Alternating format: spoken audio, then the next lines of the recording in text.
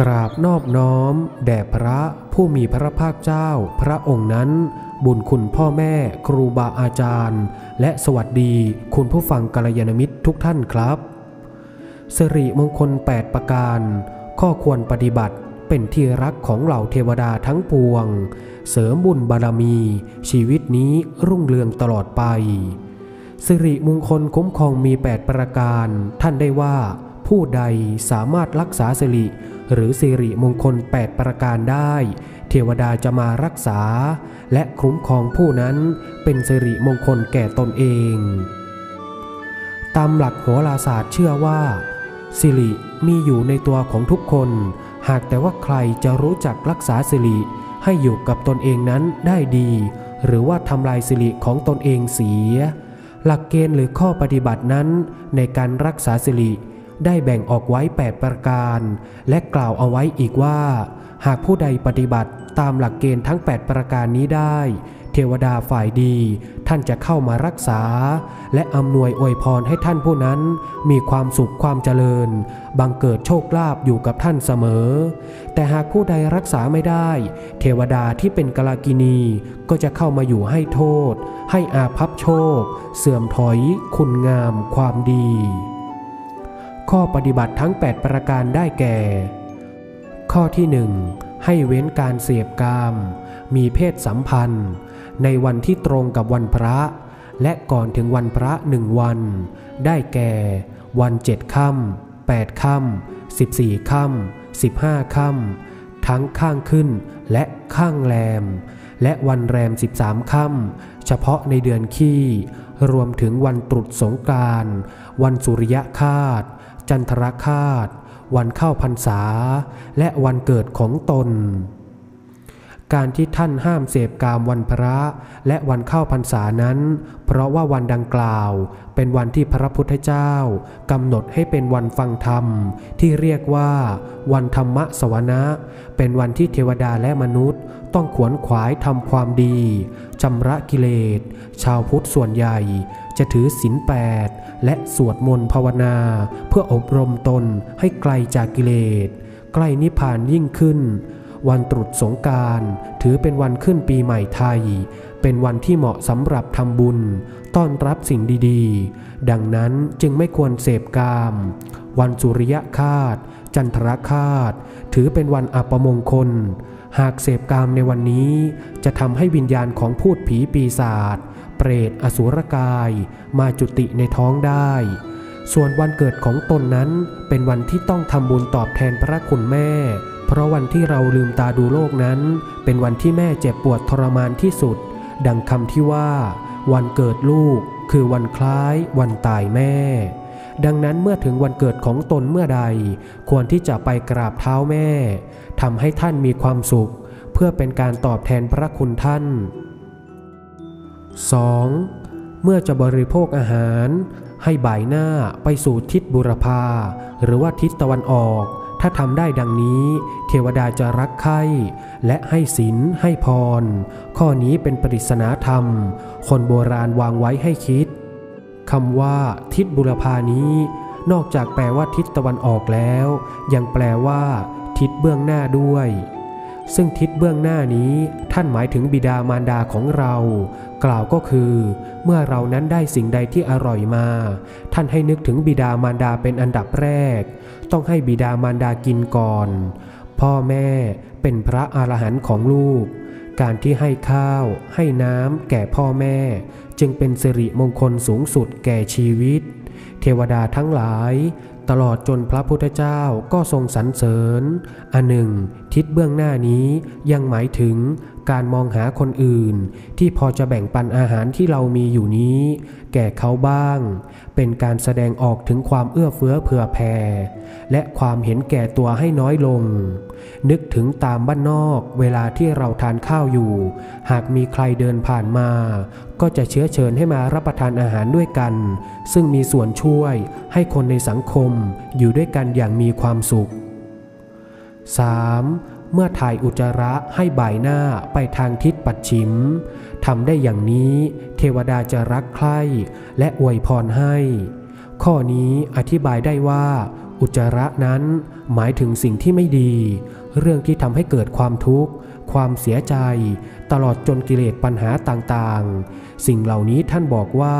ถ้าทิ้งได้ให้ทิ้งซะ เพราะว่าเก็บไว้นอกจากจะไม่เป็นประโยชน์แล้ว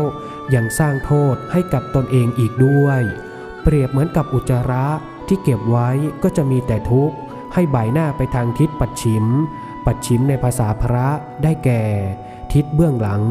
คือทิ้งแล้วให้หันหลังกลับไม่ต้องกลับไปมอง ทิ้งไว้ข้างหลัง เหมือนกับอุจจาระที่ทิ้งแล้ว ก็ไม่เสียดาย ทุกข์ก็เช่นเดียวกัน ทิ้งแล้วอย่าเสียดาย 4. ชายหญิงที่นอนด้วยกัน ต้องให้ผู้หญิงนอนข้างซ้าย ผู้ชายนอนข้างขวา และฝ่ายหญิงห้ามเดินข้ามเท้าฝ่ายชาย ถ้าปฏิบัติได้ดังนี้ เทวดาจะรักษา และอำนวยอวยพรให้สิริข้อนี้เป็นปริศนาธรรม การสอนการใช้ชีวิตร่วมกัน ระหว่างชายหญิง ว่าทำอย่างไร จึงจะเป็นสิริมงคล คือมีความดีงาม มีความสุข มีความอบอุ่นและเจริญรุ่งเรือง การนอนร่วมกัน หมายถึงการตกลงปลงใจ เป็นสามีภรรยากัน การให้รู้จักฐานะและหน้าที่ของแต่ละคน สามีนอนข้างขวา หมายถึง เป็นผู้ที่รับภาระหนักทุกอย่าง ในฐานะเป็นหัวหน้าครอบครัว ส่วนผู้หญิงให้นอนข้างซ้าย หมายถึงให้ช่วยประคับประคองสามี คอยช่วยเหลือเกื้อกูล ในยามที่สามีต้องรับภาระหนัก การที่ไม่ให้ฝ่ายหญิงเดินข้ามเท้าฝ่ายชาย นั่นก็หมายความว่าให้ภรรยามีความเคารพต่อสามี ในฐานะ เป็นผู้หาเลี้ยงครอบครัว ไม่ก้าวล้ำเส้น คิดจะเป็นหัวหน้าครอบครัวเอง บางคู่ภรรยาถือทิฐิคิดว่าตัวเองเก่งเหนือกว่า จึงดูถูกข่มเหง ดุด่าสามีสารพัดทำให้ครอบครัวนั้นขาดความงาม ไม่เจริญ หาความสุขไม่มี สังคมดูแคลน 5. ชายหญิงที่อยู่ด้วยกัน ท่านห้ามมิให้ใช้ผ้านุ่งร่วมกัน และให้แยกว่าชุดไหนเป็นชุดสำหรับใส่กลางคืน และชุดไหนเป็นชุดสำหรับใส่กลางวัน ถ้าใช้ผ้านุ่งร่วมกัน หรือว่าเอาชุดกลางคืน มาใส่กลางวัน เอาชุดกลางวันไปใส่กลางคืน ท่านว่าจะเสียสีดูไม่เหมาะ เทวดานั้นรังเกียจและไม่อำนวยอวยพร ท่านผู้ติดตามช่อง YouTube TRN TV ครับคำว่าผ้านุ่งในที่นี้ ท่านนั้นหมายถึงเรื่องภายในครอบครัว ผ้านุ่งกลางวัน หมายถึงเรื่องที่ดีที่เกิดขึ้น ภายในครอบครัวที่ควรนำมาเปิดเผย ให้กับผู้คนได้รับรู้ เหมือนเสื้อผ้าที่สวยงาม ควรนุ่งอวดให้คนเห็น ส่วนผ้านุ่งในเวลากลางคืน หมายถึงเรื่องที่ไม่ดี เรื่องเสียหาย เรื่องไม่งามภายในครอบครัว ไม่ควรนำมาเปิดเผย เหมือนชุดนอน ไม่ควรนุ่งมาอวดในที่สาธารณะ หรือตามห้างสรรพสินค้า สามีภรรยาที่อยู่ร่วมกันแล้ว ต้องรู้จักแยกแยะว่าเรื่องส่วนตัว หรือว่าเรื่องในครอบครัว เรื่องไหนควรเปิดเผย เรื่องไหนควรปกปิดโดยเฉพาะเรื่องไม่ดีของคู่ครองที่นำมาเปิดเผยแล้วทำให้เขาเสียหาย หรือว่าอับอาย แต่ว่าถ้าเป็นเรื่องดี เรื่องที่น่าภูมิใจ ก็นำมาเปิดเผยได้ ถ้าทำได้ดังนี้สิริคือความสุขความร่มเย็น ความเป็นมงคลก็จะเกิดขึ้นในครอบครัว 6. เวลาหลังตื่นนอนก่อนออกจากบ้าน ให้เอาน้ำล้างหน้า ตกแต่งใบหน้าให้ดูดีสวยงาม จึงจะเป็นมงคลแก่ชีวิต เทวดาก็จะตามรักษา และอำนวยอวยพรให้โชคดีตลอดวัน คนโบราณเชื่อว่า ราศีหรือว่าสิ่งที่จะทำให้เราเกิดความโชคดีนั้นอยู่ที่ใบหน้า ดังนั้นท่านจึงให้ล้างหน้าทำความสะอาด ตกแต่งใบหน้าให้ดูดีเสมอ ก่อนที่จะออกจากบ้าน ความจริงแล้วข้อนี้ท่านไม่ได้หมายถึงเฉพาะการแต่งหน้าแต่งตา ให้ดูสวยดูดีเท่านั้น แต่ยังหมายถึงการทำใบหน้า ให้เบิกบานแจ่มใส มีรอยยิ้มไม่บูดบึง้ง และอารมณ์ดีอีกด้วย เพราะว่าเพียงการแต่งหน้าให้สวยงาม แต่ใบหน้าบึ้งตึง คงไม่ช่วยให้ราศีดีขึ้นสักเท่าไหร่ กลับกันนั้นถ้าหากว่าใบหน้ายิ้มแย้มแจ่มใส อารมณ์ดีเบิกบาน ถึงไม่แต่งหน้าทาปากก็ยังดูดีมีเสน่ห์มาก 7. เวลาพักเที่ยงให้เอาน้ำพรมที่หน้าอกตรงหัวใจทำอย่างนี้จะเกิดสิริมงคลแก่ตน เพราะคนโบราณ เวลาเที่ยง ราศีจะย้ายจากใบหน้ามาที่อก หากเอาน้ำมาพรมที่อก ก็จะทำให้รู้สึกสดชื่น มีโชคราบ การงานเจริญ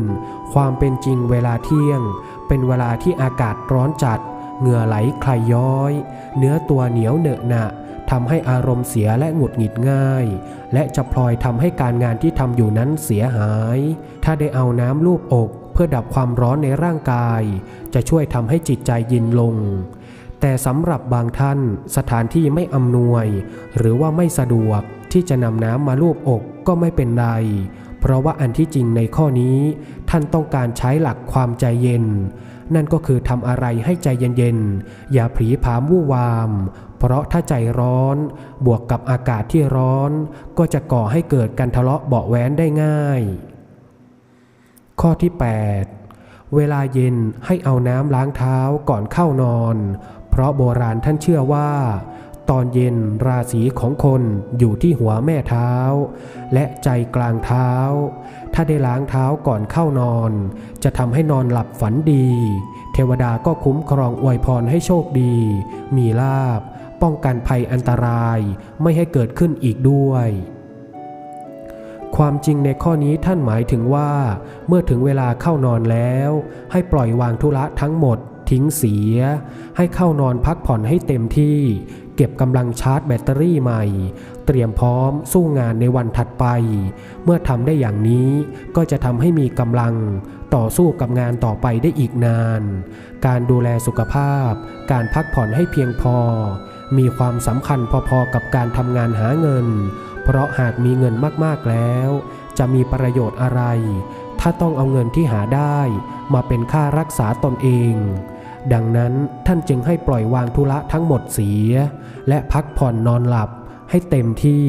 เมื่อถึงเวลาต้องพักผ่อนสิริมงคลทั้ง 8 ประการนี้เป็นข้อปฏิบัติที่คนรุ่นปู่ย่าตายาย ได้บัญญัติเอาไว้ ซึ่งหากใครปฏิบัติตามได้ ก็จะเกิดความสุขความเจริญอย่างยิ่ง แต่การจะให้มีความสุขความเจริญได้อย่างบริบูรณ์ ต้องรู้จักประยุกต์ใช้ให้ถูกต้อง และเชื่อว่าหากท่านได้ปฏิบัติตาม วิธีการรักษาสิริทั้ง 8 ข้อที่ได้แนะนำเอาไว้ ความเป็นสิริ ความเป็นมงคล ความสุขความเจริญ จะบังเกิดแก่ท่านอย่างแน่นอนครับ